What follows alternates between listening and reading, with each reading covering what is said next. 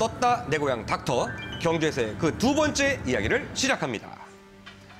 먼저 어머님의 MRI 검사를 진행했습니다. 90도 가까이 굽은 허리와 팔을 들 수 없을 정도로 심했던 어깨 통증의 원인을 찾기 위해서였는데요. 평소 목 디스크 때문에 큰 불편을 느끼셨던 아버님도 함께 검사를 해봤습니다. 결과가 과연 어떻게 나왔을까요? 측면 사진에서 보시면 만유였어요. 골반부터 무릎까지 다 균형이 무너져서 관절염도 다 생기고 전반적으로 통증이 다 유발돼요. 여기서부터. 까맣게 자라 있는 게 어깨 위에서 뼈가 자라 있어요. 어머님 일 많이 하셔가지고 퇴행성으로 뼈가 자라서 팔이 움직일 수 없게 뼈가 꽉 막고. 있거든요. 자라 있는 뼈를 제거를 할 계속 거거든요. 네. 그럼 내일 팔이 이렇게 들어질 겁니다. 잘 해서 어, 내일 좋은 결과 있도록 하고 아버님도 목 디스크 오늘 좀 많이 회복할 수 있도록 해드릴게요. 미개 살리면 내가 좀덜 아프고 하니까 내가 미개 살리면 보니까 일을 좀 덜 하잔 말이에요. 카메라 앞이라고 일부러 그러신 거 아니에요? 에라요. 이거, 이거 진심입니다. 제가. 아. 자, 어머니께서 먼저 수술실로 향하십니다. 어머니 괜찮으시죠? 네. 오늘 잘하고 오세요. 화이팅! 산에 올라가십니다 생각하시고. 긴장이 좀 되는 예. 우리 아버님 잘좀 걱정하지 부탁드립니다. 마시고요. 예. 네, 걱정하지 마십시오. 예. 수술실에서는 어머님의 척추관 협착증을 치료하기 위한 시술이 진행됐는데요. 신경 성형술과 허리 인대를 강화시키는 주사를 시술했고요.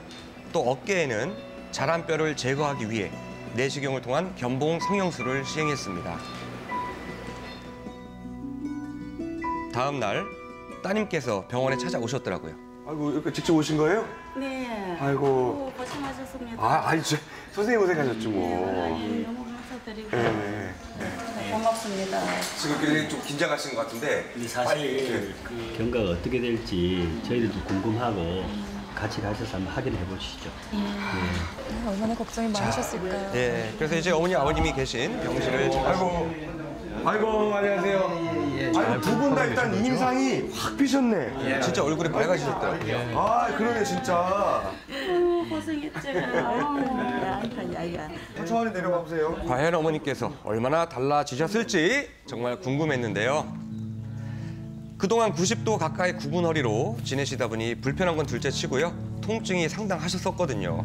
팔은 아예 뭐 들기조차 쉽지가 않으셨고요. 요거밖에 안 들어가네요. 아, 요거밖에 안. 들어가네요. 자, 그런데 이제는 과연 이렇게 달라졌습니다.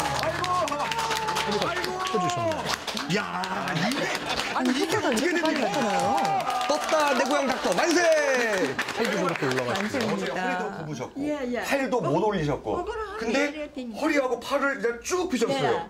여기 아파가 어떤 모이 받다 그냥. 어마어마함에 내 고향 닥터를 꽉 안아주십니다. 나가지고 내가 산에 모시고 산나물 해가 좋은 거. 또 산나물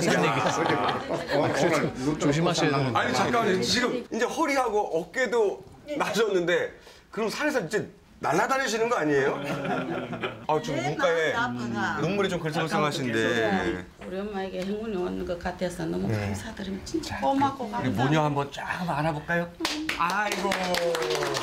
もうそうまくん。